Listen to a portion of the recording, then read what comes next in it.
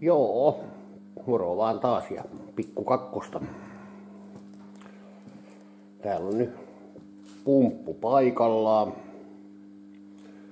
Suuttimet käytin irti. Tarkistelin paineet, sumut. Ne oli sen verran hyvät, että siellä 182, 186 oli paineet, sumut ihan jees ette ruvennut mitään edes säätelemään niitä. Kahdes oli, sumut oli hiukan semmoinen, hiukan pehmeä naraus, mutta mut ei, ei niinku silleen moitittavaa, että saa olla semmoitteena. Polttoaine suorittimen vaihoi, noita kaikki koos. Tankilirautin tyhjäksi, mahdolliset vedet on tuolla, tuolla, tuolla valkoisessa 30 litra ämpyrässä. Sitten tämmöisiin muovipunkkiin puhtaisiin tai puhtaaseen päästä sieltä.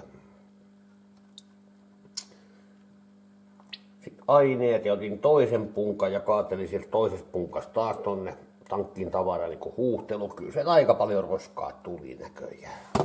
Tää on vaan tää toinen purkki.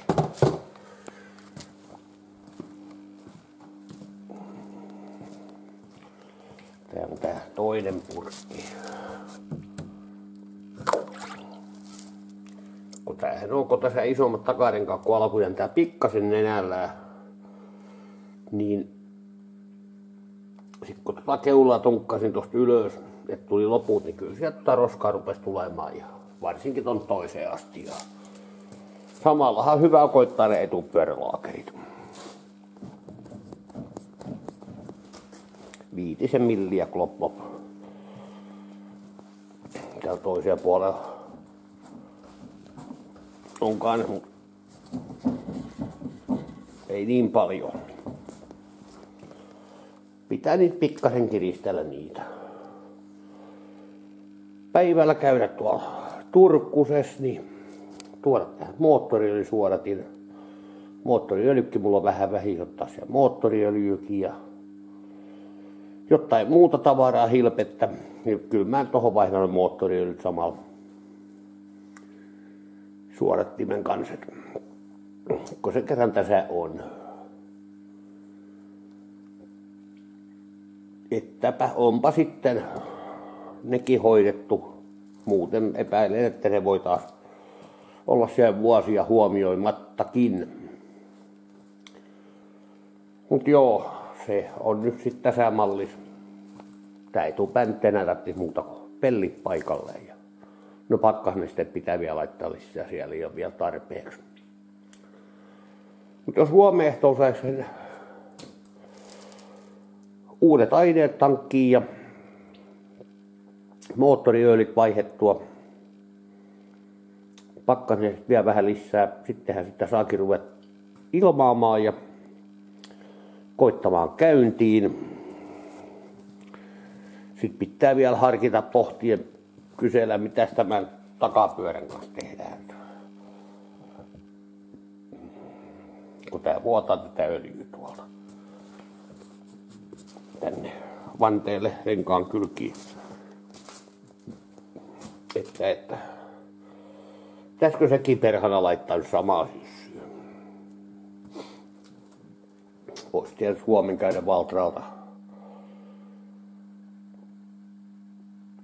Kun siinä Turun konekeskuksessa kuitenkin varmaan käy, niin Valtran liike on siinä pihan toispuolella. Niin kysäisemässä vaikka tota Stefaa sieltä samaan reisuun. Kun sekin on kans silleen, että jos se on järkihintainen valtraliikkeessä, niin se voi hyvinkin ottaa sitten saman tien mukaan.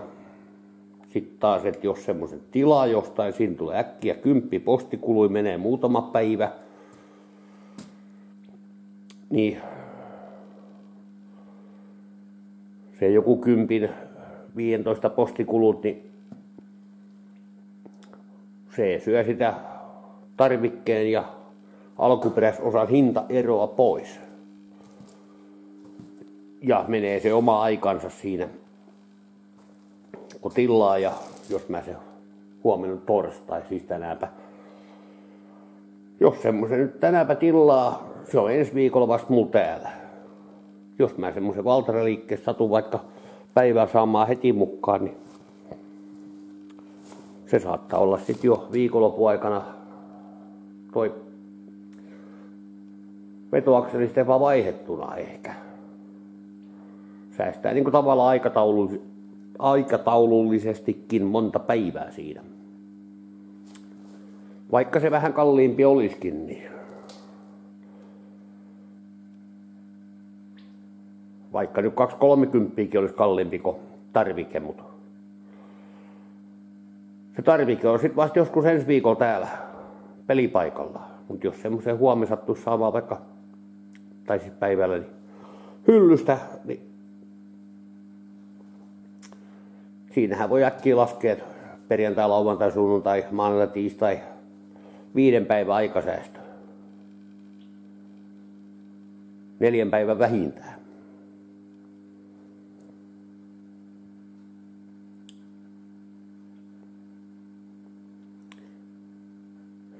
Että niin kannattaa aina pohtia, että tommosiakin asioita.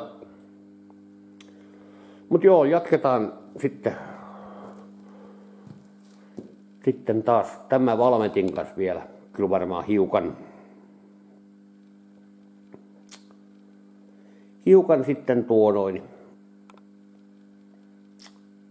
taas ensi ehtoona, mulla menee huominen päivä, kyllä menee tuo reisus hyvinkin tehokkaasti. Mahdanko mä edes ennen seitsemän kahdeksan olla täällä verstanurkilla takaisin. Sitä en vielä tiedä. Sitä nyt vielä tiedä.